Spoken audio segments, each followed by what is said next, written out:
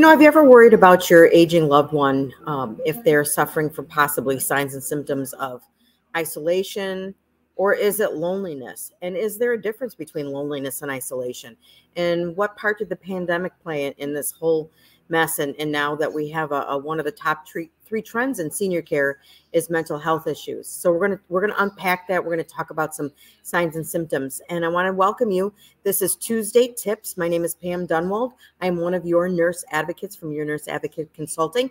We're here every Tuesday in our Facebook group and also on our Facebook page. So we are glad that you are here with us. So let's go ahead and jump in and get started. First thing I want to talk, just spend a couple of minutes on the impact of the, the pandemic. And for those, you know, a uh, few years, I was still working um, as a hospital case manager and utilization review nurse at that time. And what we were seeing is if we had someone discharging from the hospital that was going to need, you know, nursing home stay, whether long term or short term just for rehab, and then they were hoping to go home. Uh, that whole arena of getting someone discharged and placed in a nursing home was horrible. Um, you know, not only some units were closed, uh, off and on, they were isolating. And if you were a new person to the nursing home, and many of the nursing homes in our area in, in the Midwest here, is that you had to isolate in your room for 14 days. And so, you know, imagine, imagine you're someone who's gone from the hospital, you're now in the nursing home, your friends and family can't come and visit, uh, you're stuck in your room for 14 days, you eat in your room, you do everything in your room. Someone will come and see you to bring you what you need, or if you put your light on, maybe help you to get to the bathroom. And you know, it's such a double edged sword because, you know, on one hand, we have all this isolation and, and that going on as a product of the pandemic.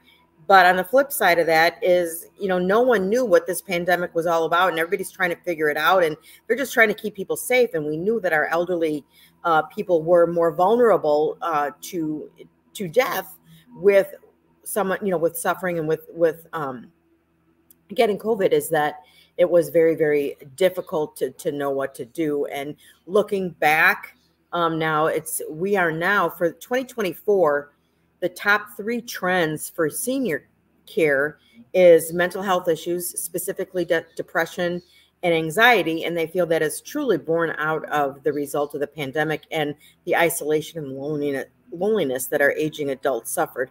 Then, number two, aging in place. And number three, multi general uh, living, because people are what went on in the nursing home is very fresh in people's minds. And you know even access to nursing homes is has gotten to be much more difficult because we you know in our area we have nursing home beds that are available but they still have, are limited to the number of, of patients they can, they can take because they don't have the staff to care for the residents that would reside in those beds. So access to healthcare even a nursing home is still suffering um, the impact of the pandemic so let's, we're going to focus on the next couple of Tuesdays. We're going to, this is all coming to fruition. We're having a free webinar. It is going to be on April 24th at uh, 7 p.m. Central Time, 8 Eastern. And we are going to unpack these three top three trends mental health, uh, aging in place, and multi generational living. We're going to have a workbook. This is all free. We're going to have a workbook that you're going to be able to follow through the webinar and, and maybe um, it's going to walk you through trying to identify things that would pertain to your family whether now or whether in in the future. So it can help you go you know what these trends are actually going to mean for you and your family. We're going to have some guests on there. We're going to have a, a, a woman who's going to be uh, has been living multi-generational for many years and is now just in the process of selling her home and going to uh, get into another multi-generational living situation. And a multi-generational living situation is when there is more than two generations in the same household. So you have to have at least three generations in the same household for it to be considered multi-generational. So at least like grandparents parents and you know kids. And that's what um, is kind of the rule of thumb for for qualifying it being called multi-generational. So let's get into so the first of the three that we're going to unpack is the mental health and we're going to look specifically tonight at isolation and um, loneliness.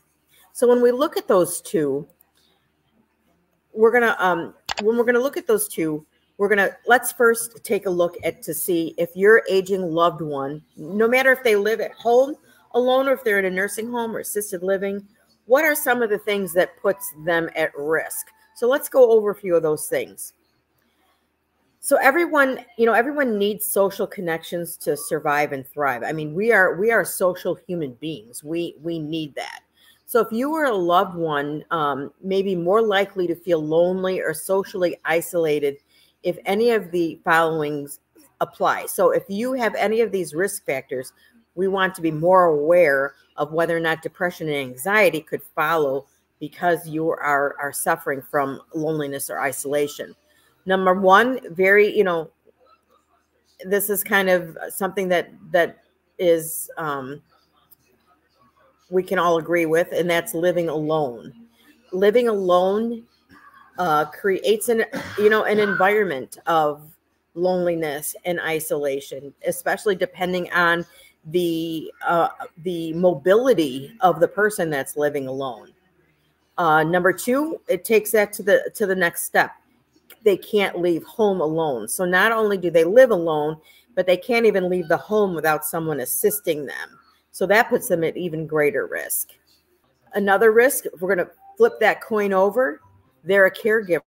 So those adult children of aging parents, you know, maybe maybe that child, that adult child is a full-time caregiver now, because they are providing, you know, 24 7 care for an aging loved one, they may be suffering from loneliness and isolation because they are there isolated to the situation of being a caregiver. So it's not only just that aging adult that's that could be prone to this, it's also the caregiver. Uh, the number number four is if you may be at risk if you have trouble hearing. Now let's let's think about this a little bit if you have trouble hearing, you're not able to participate in a lot of the conversations, maybe even going on in the same room. You could be sitting in a room full of your family members and they're having a conversation. And if you're hearing impaired and you can't keep up with the conversation, you're feeling lonely and you're feeling isolated because you can't participate in that. So let's think about that. So, you know, having trouble hearing.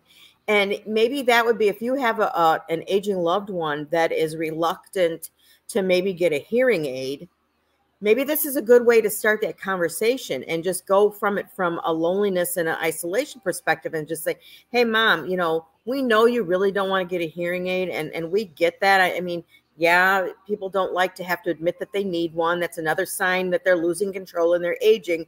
But you know what? We really don't want you to feel lonely or isolated because you can't participate in our family conversation. So maybe going at it from that perspective, um, you know, rather than saying, you know what, you're you're deaf is you you can't hear anything and you know, and it's very frustrating trying to talk to you because you can't hear what I'm saying. That just makes them feel worse. So, and, and I know it's frustrating on both sides. Um, next one, maybe they had a major loss or a life change, such as the death of the partner. Partner. And one of the things as our aging adults, and I've said this, you know, in different topics that we've talked about, is that as our aging loved ones continue to age, their circle, their sphere of influence gets smaller. And when I say, you know, circle or sphere of influence, that's friends and family that, you know, are are their age. And so as they pass away, their circle shrinks and they get smaller and smaller, and they're losing the people that they can identify with the most. They may have, um, you know, children or grandchildren or great grandchildren, and unless we find a way to bridge that gap and find common ground to be able to, you know, and and, and there are a lot of things to do. I mean, you know, having your an elderly person share stories about themselves as a kid growing up with a grandchild as as a kid i used to love to hear those stories from my grandma and grandpa and you know that could be one way to to try it and bridge that gap and and have them feel more connected um, and feel like they may have you know more in common rather than saying you know i'm you know an aging adult and and I, i'm losing the people that i identify with so think of some creative ways to try and, and, and bridge that gap between the the ages there Another risk factor is do you live in a rural, rural or an unsafe neighborhood? So, a rural or an unsafe neighborhood is going to inhibit you possibly from getting out and getting out doing some activities or getting out and socializing depending on again each one of those those circumstances the last thing is is more of an emotional is uh, risk factor, and that's feeling like a lack of purpose. And as we age, from being born as a brand new infant all the way through death, we have growth and developmental milestones that we have to reach as we age.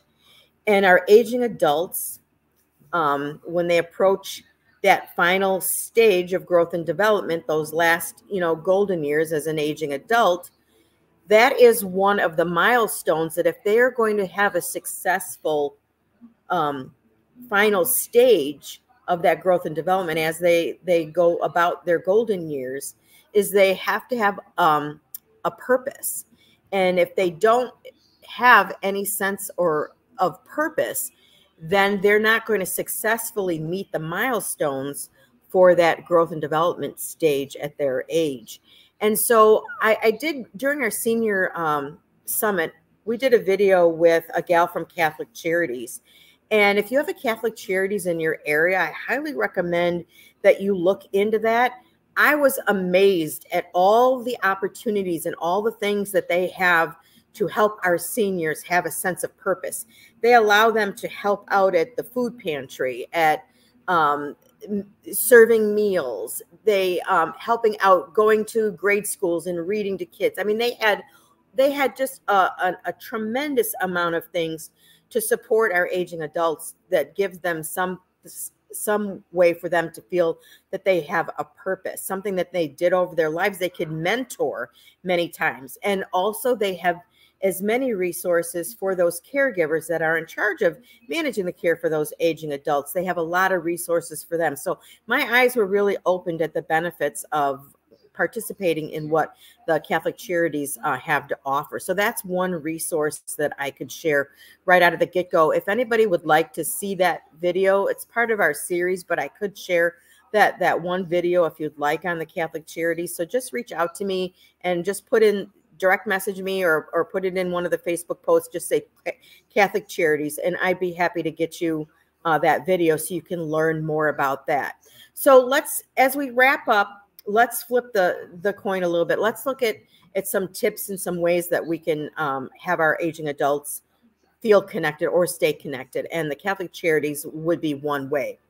So as families that are, are, are caring and loving these aging adults, need to try and schedule time each day to contact them. You know, um, again, this is one of the things when, and we're going to be doing a workshop later on um, early this summer on building a care team on a blueprint of caring building a care team on a budget. And one of those things is involving like a phone tree or, or putting pulling together people um, as volunteers to, to get us actually a schedule. Or this is a good thing with your siblings. Your siblings that live long distance this is an excellent way for them to give you some relief is to schedule a check-in call you know once a day or once a week or take turns rotating days.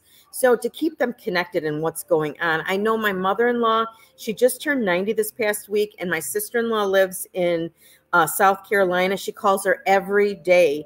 And my mother-in-law keeps track. She knows everything that's going on with my sister-in-law and her family in south carolina. And my mother-in-law really looks forward to that. Now once in a while you know, we'll let my sister in law know if we're taken out or we're doing something. She's not going to be around for that call. But my mother in law really, really looks forward to those calls. So that's something very easy.